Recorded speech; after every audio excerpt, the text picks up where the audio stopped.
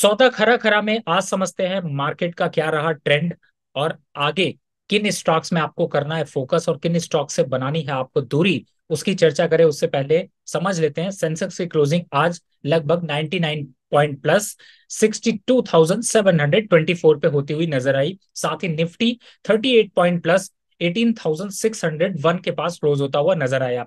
Bank Nifty में थोड़ा सा दबाव रहा और बैंक निफ्टी की क्लोजिंग यहाँ पर 44 पॉइंट निगेटिव 43,944 से नीचे होती हुई नज़र आई। ओवरऑल एडवांस डिक्लाइन पे अगर ध्यान दें तो 33 ऐसे स्टॉक रहे जिनमें की बढ़त देखने को मिली और 17 स्टॉक ऐसे रहे जिनमें की निफ्टी के इंडेक्स में गिरावट देखने को मिली। सबसे बड़े इंपॉर्टेंट पॉइंट यहाँ पर ये कि आज हफ़्ते की शुरुआत में भी मार्केट में बहुत ज़्यादा अग्रेसिव बाइंग या फिर अग्रेसिव सेलिंग देखने को नहीं मिली। शायद कहीं ना कहीं से इन्वेस्टर कुछ नए ट्रिगर का इंतज़ार कर रहे हैं और साथ ही चूँकि आईआईपी का डेटा भी यहाँ पर आ जाने वाला था तो उसका शाम को इंतज़ार रहेगा और उसके बाद ही यहाँ पर मार्केट में मोमेंटम देखने को मिल सकता है।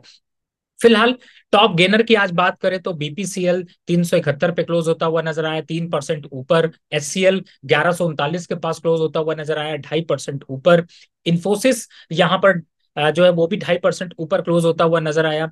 बारह सौ इक्यानवे एनटीपीसी एक सौ पिचासी सत्तर के पास क्लोज होते हुए नज़र आए, लगभग पौने दो परसेंट ऊपर। साथ ही अदानी इंटरप्राइजेस यहाँ पर डेढ़ परसेंट के करीब की पॉजिटिव क्लोजिंग करने में कामयाब रहा। लूजर्स की अगर बात कर लेते हैं तो लूजर में भी थोड़ा सा निगेटिव ट्रेंड रहा, लेकिन ज़्यादा बड़े गिरावट नहीं देखने को मिली। पावर ग्रिड कॉर्पोरेशन 241.65 के पास क्लोज होता हुआ नज़र आया, लगभग डेढ़ परसेंट नीचे।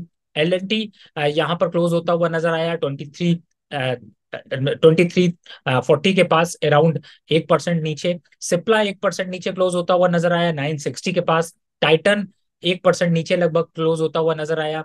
ट्वेंटी एट, फिफ्टी थ्री के पास। और साथ ही मारुति सुजुकी भी यहाँ पर पौने परसेंट की गिरावट देखने को मिली। 95 550 के पास क्लोज होता हुआ नज़र आया। एक बार डेरिवेटिव डेटा यहाँ पर अगर एनालिसिस करें तो आपको समझ में आएगा कि निफ्टी की जो रेंज है, वो अभी कहीं ना कहीं से अठारह सात सौ के एक रेजिस्टेंस को बना रही है। लोअर साइड पे अठारह पाँच सौ पचास और अठारह चार सौ अस्सी, ये आपके सपोर्ट जोन होंगे।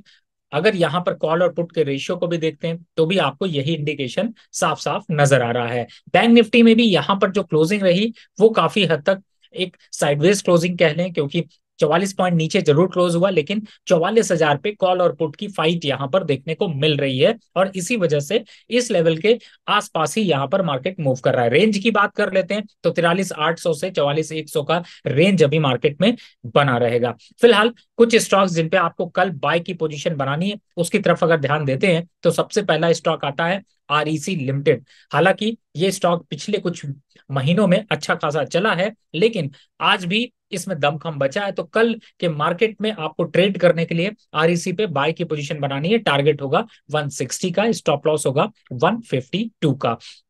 दूसरे स्टॉक की बात करें तो इस समय ज्योति लैब यहाँ पर एक पॉजिटिव मोमेंटम बना रहा है। आप इसमें बाय की पोजीशन बना सकते हैं। दो रुपए के पास टारगेट होगा दो सौ चौदह रुपए का, स्टॉप लॉस होगा दो रुपए का। साथ ही बीएससी खासतौर से बॉम्बे स्टॉक एक्सचेंज का जो स्टॉक है, उसमें भी एक पॉजिटिव मोमेंटम यहाँ पर बनता हुआ नज़र आ रहा है। 570 के पास क्लोज हुआ है। आप यहाँ पर एक बाय की पोजीशन बना सकते हैं। टारगेट होगा पाँच रुपए का और स्टॉप लॉस रख सकते हैं आप पाँच रुपए का।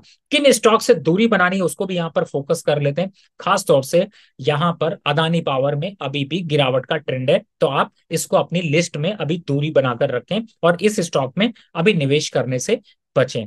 दूसरा स्टॉक है दीपक फर्टिलाइज़र जिसमें कि गिरावट देखने को मिल सकती है। टारगेट की बात करें तो 545 के टारगेट देखने को मिलेंगे। ओवरऑल एक डाउन ट्रेंड यहाँ पर देखने को मिल रहा है। साथ ही यहाँ पर अगर ओवरऑल देखा जाए स्टॉक्स में फ्यूचर स्टॉक्स हैं तो बायोकॉन में भी एक यहाँ पर शॉर्ट जनरेट होता हुआ नज़र आ रहा है और 235 के लक्ष्य ये अचीव कर सकता है। क्लोजिंग है दो सौ इकतालीस रुपए का और स्टॉप लॉस होगा दो सौ चौवालीस रुपए का। तो ऐसे ये स्टॉक रहे जिनमें कि आपको बाइंग मोमेंटम यहाँ पर बनाकर रखना है और जिन स्टॉक से दूरी बनाने को कही या फिर ये कहें कि इनमें सेल की रणनीति बनाकर मार्केट से अच्छे पैसे कमाए जा सकते हैं।